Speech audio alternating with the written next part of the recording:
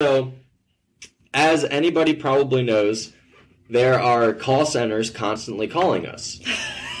like I get six a day. It's it's so bad. I'll just be chilling and all of a sudden my phone goes off and it's a number I don't know, so I don't answer it because even if it isn't a call center, if I don't know your number, just leave a message. That's how I'll know it's you. If not, I'm not gonna fucking call you back or anything. Exactly. If I'm it's just gonna- important, yeah. don't leave a voicemail. So yesterday, I was like, you know what? I'm sick and tired of this shit. I'm gonna answer it and say something really stupid just to so they'll know to fuck off.